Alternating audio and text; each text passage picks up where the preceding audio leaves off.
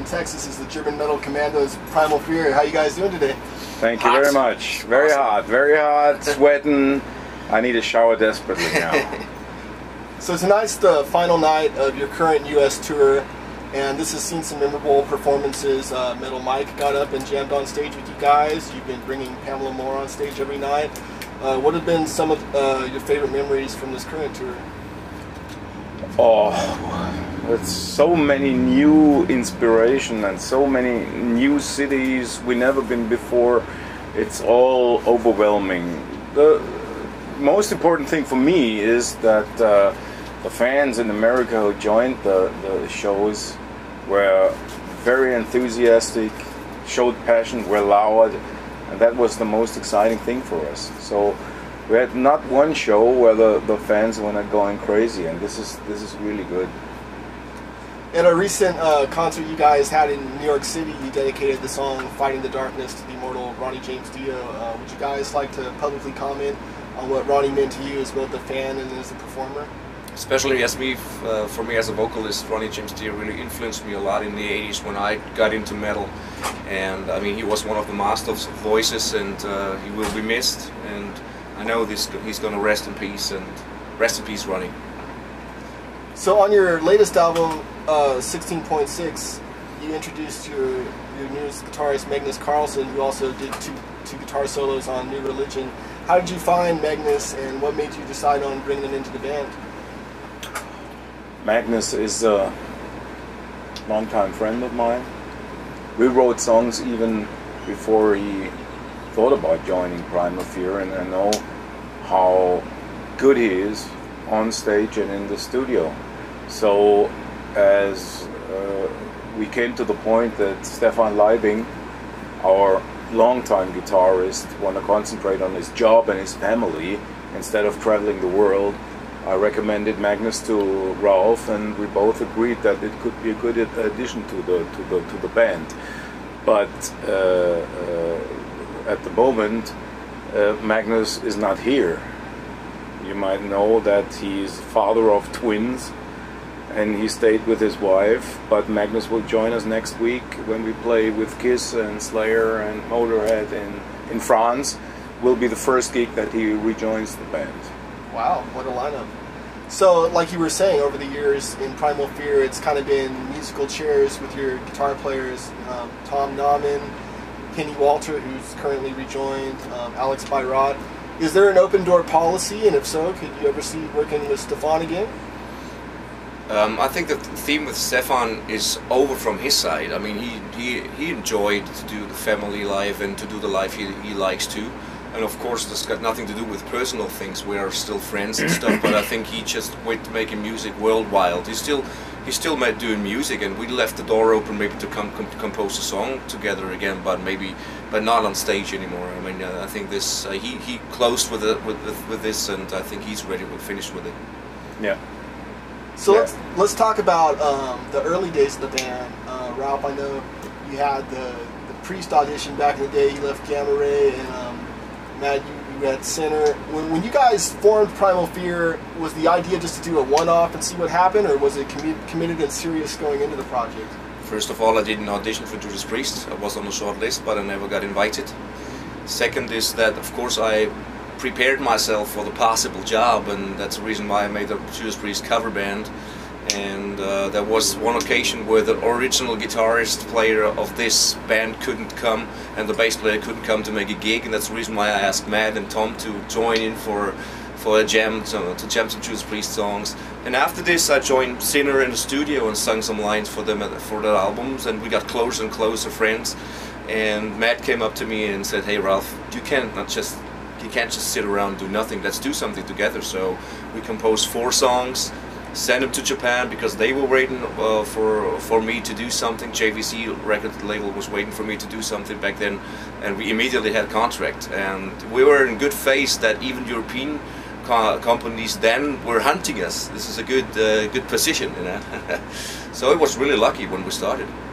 And when you um, released your debut album in 1998 on Nuclear Blast, and you introduced the eagle imagery on the album cover, what, what would you say the eagle imagery symbolizes to you guys as a band? Oh well, first that was an idea of, of our friend Stefan Lohmann who uh, did the cover artworks, the first uh, couple, and he listened to the music and he came up with the idea and we liked it. The fans liked it too, so everything was cool. And so when you guys a year later did the Jaws of Death album, added a full-time second guitar player. How were you guys performing live prior to, to adding a second guitarist? No, no, he was there from the beginning. Okay. So we recorded the studio album as a, a four piece, the Mhm. first, and before we did the first show we ever did, Stefan Leibing joined the band as a second guitarist. So we know that this music needs two guitars. So we were looking for a guitarist out of uh, who is coming from our area where we live in Stuttgart, uh, and that was the point. Stefan joins the band actually very very short after the album was released, and we did our first tour. And on your, your next one, the real aggressive ass kicker, one of my favorite Primal Fear albums, Nuclear Fire. I remember at the time that came out being re- really well received by fans, and a lot of critics were making comparisons to the Painkiller record. Was the Priest influence on that uh, something on your part that you guys kind of decided you wanted to? No, No, just no, never, never ever. It was just that that uh, uh, uh, Henny was new in the band. Uh, we were all fired up. That was a time we were we were really really hot and and right. We wrote I I think 30 songs or something. Picked up the the 12 best songs we thought it is, and I think the album is still one of my favorites. yeah. Yeah. Yeah, and and we never we never think uh, uh, on, on on Judas Priest. We never. So I think it's Ralf's voice has some some things which are very similar to Rob Halford's voice. So in, in the, the high notes and, and, and the screams and stuff like that. So there are similarities, but uh, I think music-wise, uh, we never, never, never uh, had Judas Priest in our mind. It's just coming out of the, the flow. natural. Yeah. And so the the next record you guys did, Black Sun, you recorded here in Texas at Sonic Ranch Studios, and that studio's reportedly haunted. Did you guys encounter any paranormal activity during your stay there? What are some of your memories from the Black Sun sessions? Uh, we ordered a, a soccer game via pay-per-view and watched it at six in the morning. And Well, the keep, other the, guys keep, the, keep the whole studio alive because our team was, was was playing. That was great. That was one of my memories. The other one, it was dry like hell was there. dry. So nose was bleeding nose- after three days. This was this was unbelievable. Totally different climate to to uh, where we live. Uh-huh. So it's good that we only mixed the album and we didn't have to do any more like singing or stuff. Be too dry there. Yeah. so, well, but it was a was we had a great time there. We had a great time overall. Uh, it was uh, nice to remember this this this move, but I don't think we will go there again. Uh-huh. So it doesn't make sense to to fly around the world. So in the meantime, we have nice options in our uh, living area that we don't have to fly to Texas anymore uh, to record an album, but to place. And I guess between that time and, and your next album, you guys did the, the Metal Gods tour, uh, five or six dates here in, in the states, and then um, Actually, eight. eight. And then when it was time for Devil's Ground, you guys brought in Randy Black. I guess he was already in the band before that album, right? He Yeah, he he played- came in for the Metal We Gods played tour. the Metal Gods Yeah. tour because our drummer was Klaus was not able to do this tour because uh, he has a job he, he needs to, to, to work and that was always a problem. And uh, Randy was recommended from, from Stefan Leibing. Yeah, Stefan Leibing recommended Randy Uh-huh. and we started working with him and he was really really a great drummer so as the time was right randy joined the band and later Were you guys familiar with his work in Annihilator prior to that, or I mean, it must have been tough for you guys to bring in a new guy with Klaus in the band so long at that point, or?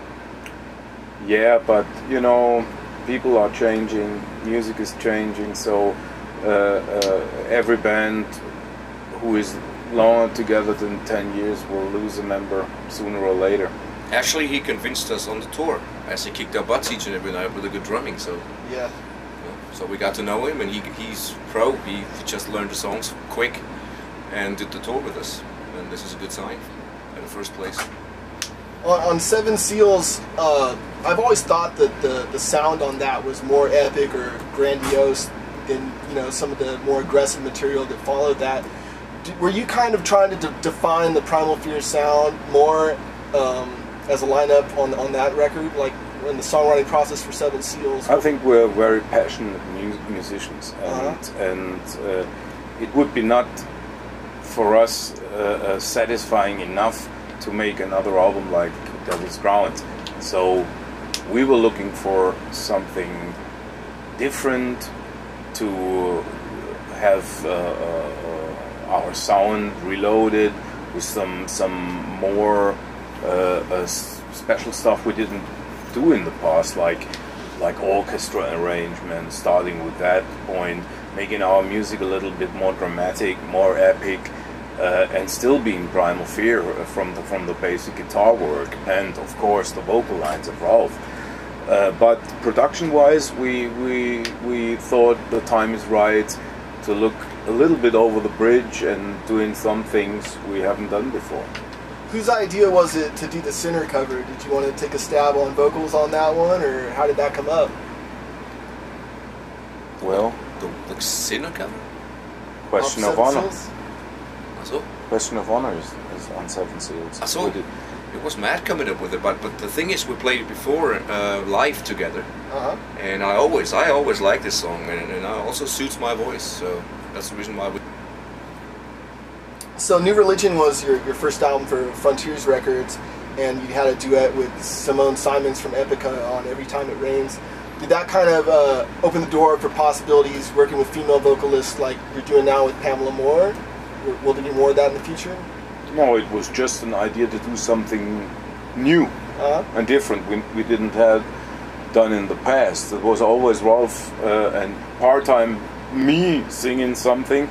So then we go and said, what what, what we haven't done in the past. So uh, then I come up with the idea, and Ralf liked the idea, and, and Ralf could choose whatever he First wants, all- to, wants to sing with. Yeah, first of all, the song offers this every time it rains offers this duet, and uh, that's the reason I, I was listening to Epica pretty much at that time, and uh, I really liked Simone's voice, and I thought uh, this would be perfect for every time it rains, and it was perfect. I mean, everybody likes it. Yeah, Yeah. it's a great song.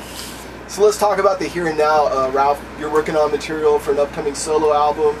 How different is the material going to be than the metal you're playing in Primal Fear right now? Actually, it's pretty much more uh, diverse. It's more var- variety, you can say. Uh, Mat and uh, Magnus and Sander from After Forever. Alex, for example, also helps me. So uh, we got really good material together right now. But you can't say uh, let's just copy and do the same thing like with Primal Fear. That would be somehow not really uh, clever to do. So there's more diversity. There's pretty much ballads, but also pretty pretty hard songs on it. So it's different, but it's something special. Very cool. Yeah. So Mat, uh, you're working with Amanda Somerville and Michael Kiske. Uh, tell me about that. That was an idea of the record company, of Frontiers Records, that they came up and said uh, they want to have um, an album with Michael Kiske and a female singer, Uh-huh. um, and um, if I'm interested in writing the songs and producing the album, and uh, we started writing songs, and it came up well. So I said, "Yeah, I'm doing the job." The album is uh, uh, finished when I come home. We're starting the mix of the album. We did two video clips for the album, and I think it's a pretty good album. And uh, it's it's more rocking and uh, more a heavy rock album uh, like uh, Michael's previous album. So he's getting back to rock again, and Amanda is an outstanding singer, unbelievable, fantastic voice, professional, no mistakes, great woman. Love to work with her. How far along in the production is it? Huh? How far along in the production is it? Is it coming out soon? Uh, September 22nd. Wow. Yeah, when I come home, hmm I'm starting with a mix of the album, finish the album, and uh, then it goes into pro- into production work. So I think uh, the album is ready. We have a, a, a listening session lined up for the International Music Media in July 23rd, I think. So I have to be ready on July 23rd with everything. You got another Sinner record ready to go? Yes. This is first, then Ralf's is coming. And then Primal Fear is coming another again. Primal Fear. No, no, Ralf is coming first. And then touring Then again. Sinner, then touring in Europe for the for the live city and the DVD. And in between, I'm doing a new Sinner album, and I have another album to produce for uh, Frontiers Records. It's for Bobby Kimball and Jimi Jamison. They doing an album together. I will produce it. So I have a lot of work, uh, but better have a lot of work than none work. Of course. So I'm, I'm keeping myself busy, and uh, then at the end of the year we will start uh, uh, thinking about the new Primal Fear album, writing songs. Then Ralf's release of the solo album in January. I don't know what happens then. We will look what happens with the solo album. Maybe you never know. Maybe Never we we doing we doing two or three Ralf Scheepers solo dates or something like this. So we're open. Let's see what. Very cool. Well, thanks so much for taking the time to talk metal with me today. Have you guys got any last words for your fans watching at home before we wrap this up? Well, it's the last day of the tour today, and I just want to thank you all guys for supporting us so much on this tour. We had a blast, and uh, just keep supporting heavy metal. It's very, very important. I enjoyed that tour really, really much, and uh, uh, I thank the fans in the US and Canada for joining us and uh, giving us a good time. So I'm coming home with a great feeling. I'm I'm not that exhausted. I'm I'm really looking forward to to come back, and this is always a great feeling when you when you come home after after four weeks of touring and traveling so many many many miles and you coming home and said well that was great. I will do this again. That's the best that can happen. Yeah. so thank you fans for all your support. Love you. Take